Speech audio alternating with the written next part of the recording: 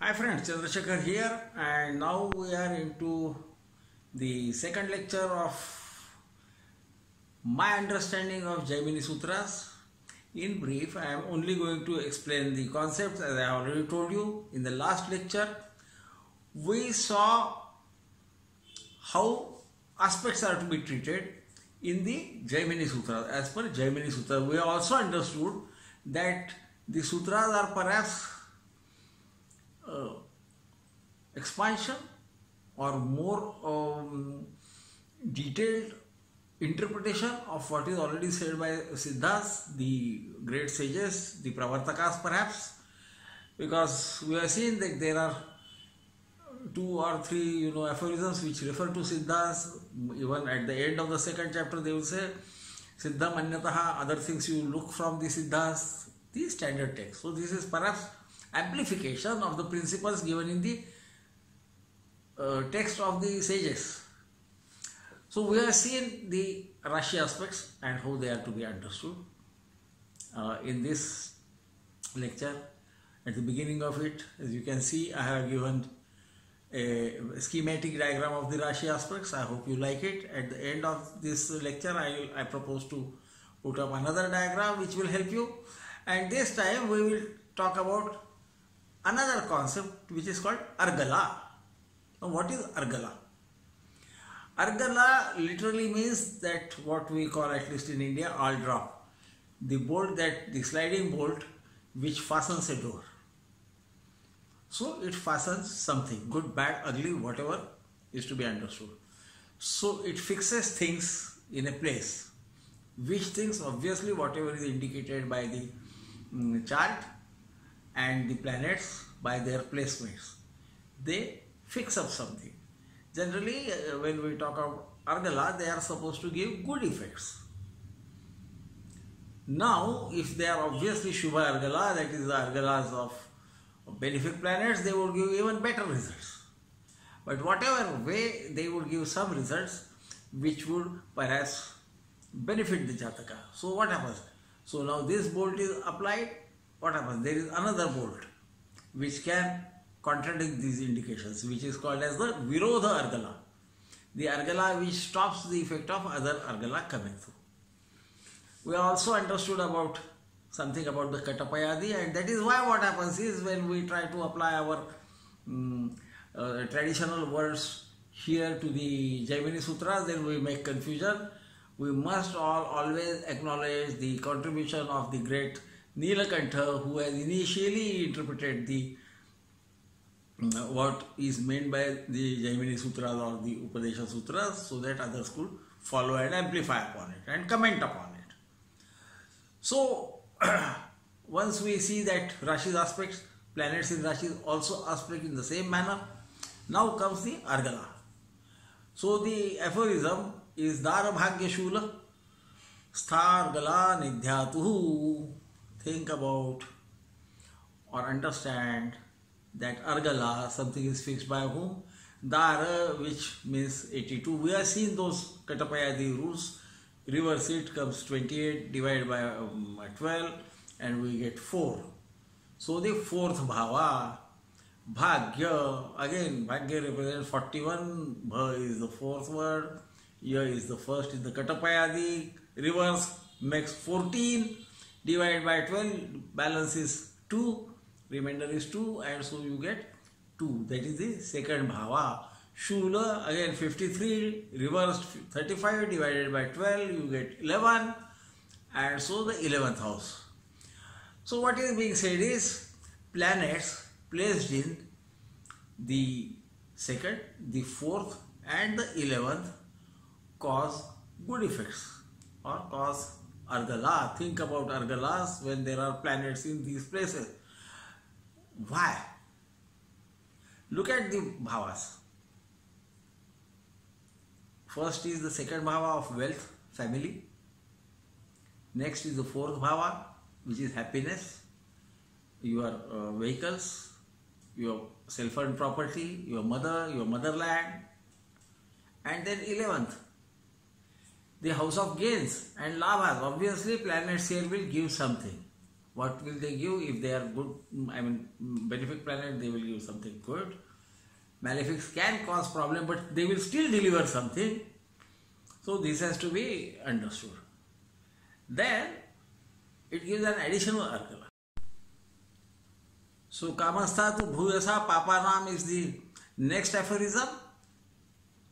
And what does it mean? We know Ka is the first, uh, you know, uh, letter in the Katapayadi Varga and Ma is the fifth in Pafababa Ma. So 51 and I mean, uh, sorry, 15 reverse to 51 divided by 12 again the remainder is 3. So it is the third bhava. Stha means placed. So kama sthatu bhuyasa. Bhuyasa means many. If there are more number of malefics in the third house, even then argala effect is there. That is good argala effect is there. So now as we go on looking at it, what happens? We know that malefics in the third bhava are supposed to be good and more the merrier as they say because the strength increases. So this is where we are understanding okay why these argalas why they are good at certain places why something else tries to obstruct it now here there is no obstruction but we will see that in the third bhava if there are Shubha planets the benefics there will be obstruction which comes in the next aphorism which, which says Ripha or Ripha Nicha Kamastha Virodhina again Ripha you you can now understand very well. I mean, I don't have to go on telling this again and again and again and pa, fa, so ra and fa is all 22 divided by 12 is 10, so 10th house. Nicha is 0, 6 reverse to 60 divided by 12, now it becomes 0, it cannot be 0, so you take the last remainder which is 12 and Kamastha the third are Virodhi Argala. Now, earlier also he says Kamastha is Argala, but you, you have to understand it is Bhuyasa, multiple number of Papa Nam, malefics should occupy. Then it is a it is called generally Nirabhasa Argala, the Argala which cannot be obstructed by planets from the 11th house. When we look at this, what we are finding out? See, we will find that the fourth Bhav Argala is contradicted by Argala causing planet from the 10th bhav. For the second bhav Argala, the 12th house Argala will be obstructing it. Isn't it? And for the 11th house Argala, third house Argala will be obstructing it. Now this is absolutely clear. These are mirror reflections of the bhavas. What happens is the second bhava is bhava of accumulated wealth. If there is a planet in the 12th bhava, what will happen? That accumulated wealth will fritter away. So not much will be left for the Jataka to enjoy. That is the concept of the Virodhi Argala. Same thing as told in Parashari, look, being looked at from a different perspective. This is what we have to understand. See, people think something greatly different is being no, it is the same thing, but with a different perspective you can look at it as Argala, you can look at it as normal course. You know that if, if more planets in 11th and the second are there and less planets, uh, you know, are harboring the 12th house, then a person is left with some wealth. This is a same thing in a different way. Now, fourth house is also happiness, being at home. 10th house is work. So, naturally, if you want to enjoy happiness at home, you will not work. Or if you work, then there is no you know, happiness from home. Uh, I mean, not in the concept of being happy at home, but you cannot stay at home for long. I mean, of course, now in these days of, you know, working from home, but that working from home, even then you are not at your home, you are working on the uh, internet, which is in a distant land or, or place where you have no control. So again, the same thing, because you are not enjoying your home, you are doing work. Okay? So please, I mean, because the modern people will think that there is something uh, different here. Now, next what he says, Nanyuna Vibalascha. That means if this one argala, a good argala is coming from another side, it is being blocked by the Virodha argala as we have seen. What happens if suppose the argala planets are numerous and the uh, blocking planets are less, then he says, then there will not be contradiction. I mean, it, would not be stopped. The good effects would not be nullified. That doesn't mean they would not be reduced, but they would not be nullified. Na nyuna vibalascha.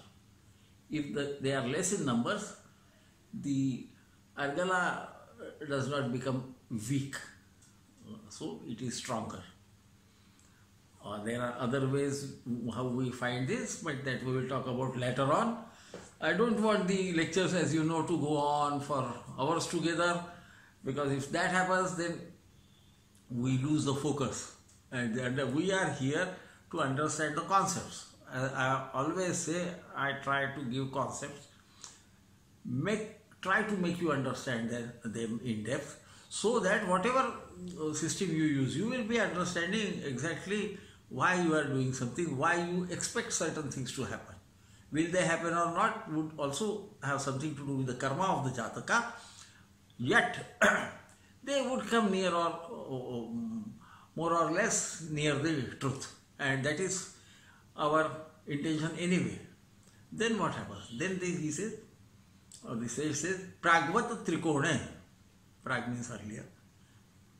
In the similar manner, what will happen in the Trikona? So what will happen? First Trikona is fifth, next is ninth. Obviously, fifth will cast a good Argala, ninth will block it. Okay?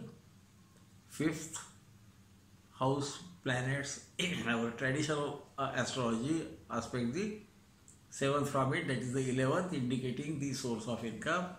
Whereas the ninth house planets aspect the third bhava indicating the valor of the person but not necessarily the wealth. And sometimes good planets in the ninth house um, benefic planets in the ninth house do not give them that cutting edge competitive spirit about which we have talked earlier uh, when I was talking about why the uh, malefics in the third house are important to get um, have great progress at least on the um, financial front in the Kali Yuga and we also see this the same thing here Kamastha Bhuyasa tu Bhuyasa Papa Nam malefics numerous number in the third house will give good effects because their valor is there. So this is only expression of the same thing from a different point of view in different terminology. We are not actually, that is the reason I say that Jaimini is not separate from traditional astrology as is always made out. It is another way of looking at the same thing, sometimes giving different nomenclature, sometimes giving different concept uh, to us. Because as we will go ahead, after the aspects, then the argala, and then something else comes, and then something else comes. What comes next is nothing but the karakamshas are there. Isn't it? The, the way we uh, look at uh, padas, I mean the reflection of um, bhavas or the planets will be there. So these are two important things which we will be talking about in the next lecture if you like the lecture so far. I am always worried that Many times I try to explain perhaps too much and you may get bored and I don't want you to get bored. If you don't like it, be plain enough to tell me, then I'll again switch over to the traditional. But what I'm trying to say is don't think that Jaimini is something different than the traditional. It is the same, the way of looking at things is different. As we were saying, the Rashi aspects, and when we see the Ekapada, Tripada, and um, Dvipada Drushti, we will understand that there is not much of a difference between the two. Here, the Rashis influence each other, and since the planets are there, they influence. We will, when we see how to look at certain things being strong or weak, or the Rashis being weak or strong, then you will also understand something about what happens in conjunction. I hope you understand. Uh, the principles are same, the application is in a different area. Okay, so Pragvat Trikone, from fifth benefic is cast, where whichever bhava, you always have to understand the this is all talking about a particular bhava or a rashi or a graha on which these argalas are cast. So I would generally think about the bhavas, but some people say that no, the argalas uh, on the grahas are to be uh, taken into account. They also have their reasons, uh, but I generally would look more at the um, from the point of view of the natal chart. Uh, but you can always, as you know, the Bhavad Bhav principle and the other dictate that we can look at it from any point of view. So, uh, this is how it works. Then comes the next aphorism, where uh, there is a difference of opinion in, in the minds of or in interpretation of different uh, learned people. Everybody has his own reason. That is Vipratam Ketu. In case of Ketu, it is the reverse.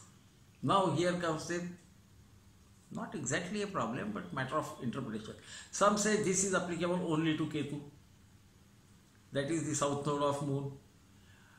Vipratam means the other way around. So it's not difficult to understand. So you will say, what is the problem? The problem is whether to apply it only to Pragvat Trikone. I mean, is this reversal is applicable only to the fifth and ninth bhava? That means in case of Ketu, from ninth bhava he will cast a benefic Argala and it will be obstructed by planets in the fifth house. Whereas, what happens about Rahu? Nothing is mentioned. So, some like me certain times think that it can also apply to Rahu, and perhaps the reason is because they are always retrograde. The ancients always considered the, I mean, mean nodes. I have written my in my book the reason for it. I think in, in one of the lectures also I have seen Sadaiva Vakrina Daityaha. Daitya is the uh, Rahu and Ketus. So they were known as Daityas and they always go in the reverse direction. So perhaps that is the reason the sages have thought that the Pragvat Trikona, in the Trikona Bhavas, the reverse will be, effects will be reversed. But there is something more. What is Pragvat? Pragvat is whatever said earlier. Now, since the, sutra prior to this talks about only uh, fifth and ninth bhava, people think it, it is applicable only here. Uh, they are not very wrong, but then there is another thing. That Pragvat refers to the earlier sutra of uh, Nicha Kamastha, Virodhina, or Kamastha tu Bhuyasa, Papa Nam. Because sutra is a thread of continuity, isn't it? I mean, the definition we have seen in the earlier lecture. What is the definition? It is small Swalpaksharam and so on and so forth. You, you have understood it. And so, this is a difference of opinion.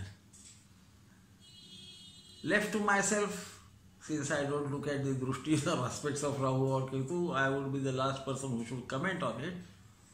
But generally, I would think that this is applicable only to Ketu. Otherwise, there is always a word like Tama, means the dark one, and Tamo Graha, they would have said, because as you will see later on, this Katapayadi is not to be applied to the planets. So when he says Ketu, there is a reason to it, there is no doubt. He is talking about Ketu. Some have even tried to interpret Ketu in the with the uh, Katapayadi system, and but then of course everybody has his opinion. I don't think that is right because as we go down the line, we will see that. And uh, but there is no harm if we also consider Rahu's Argala and Ketu both casting the reverse Argala. There is no harm in that. We will sometime check it. Rather, I would uh, urge upon you to check it, apply it to different um, charts and find out what happens. But as far as I am concerned, I am not very sure. I think this applies only to Ketu wherever he is placed. I mean, whichever Argalas are there, Ketu will have a reverse effect. That means Ketu Argala from the third may not be as good as Ketu Argala from the uh, from the third he might block, but he is a malefic, so from third he may not block. And here the astrologer has to apply his sense of proportion. Uh, maybe sometimes if we try to analyze the chart to, from this point of view, uh, we would understand. But what I have seen is Ketu in the ninth house gives good results. Rather, that person is focused. He doesn't give up the dharma. He is much more traditional than otherwise. So this does appear to be right that from ninth house the argala is reversed. Instead of virodha argala, it becomes a good argala. This much I can certainly understand. And uh, Ketu in the third house would many times want that person to give up things. So that is also correct. And uh, but Rahu Argala from ninth is a dicey subject. Uh, I would think they are very comfortable with foreigners, so we can even consider that to be a good uh, Argala, whereas Argala of Ketu or Rahu from the fifth would not be as good, uh, is what I think. But then there are interpretations. And so, my dear friends, I would not bore you much. We will go to the next um, sutras in the next lecture, and I will be attaching a small sketch of mine which I try to do on paint uh, using whatever skills I have, which are very few. I understand. Please don't uh, be angry if it's it's not beautifully done up. Uh, but uh, yeah, I am uh, uh, as at the beginning I have given the um, schematic diagram of the aspects. I will be giving the schematic diagram of the argala at the end of this lecture let me know how you think about i mean whether you think i am going in the right direction or uh, am i able to make you understand what is my opinion about it and then we will go to the next lecture and so my friends thank you very much for giving me a very patient hearing i mean i appreciate you you have been listening to me so many times you appreciate me and i have different views as you know very well and uh, but this Vipratam Ketu comes somewhere else that I'll tell you. Sometime I'll, I, told you that I many a times use um, the Jaimini principles in uh, analysis of a chart. Where I use them, I'll uh, tell you whenever the thing comes. Vipratam Ketu I generally use in a different concept. Ketu though is like Mars. Wherever he plays, he generally gives, shows the female instead of the male of the species, like in the fifth house or the third house or even the, in 11 the, there may not be brother or it could be sister and so that is how you use all these things skillfully mm, and then we go to the final analysis of a chart uh, which sometime I mean well that is easier to do when we are face to face but we will think about what to be what is to be done when we have a sufficient number of people who think alike and who would like to know more about it from my point of view, I never claim that I am the final authority. Please remember this. Sometimes I might be, I might appear to be contradicting certain things said by other uh, seniors and, and, and learned astrologers who are very learned people, more learned than me. I know that, and but please understand, this is my viewpoint. And in astrology, one has to use his viveka, his sense of proportion uh, this is what was told to me by my father and I use that. So I hope nobody is hurt by my, mm, what I can call, non-traditional way of looking at things. And so my friends, good night. I will not take much of your time now. Very good.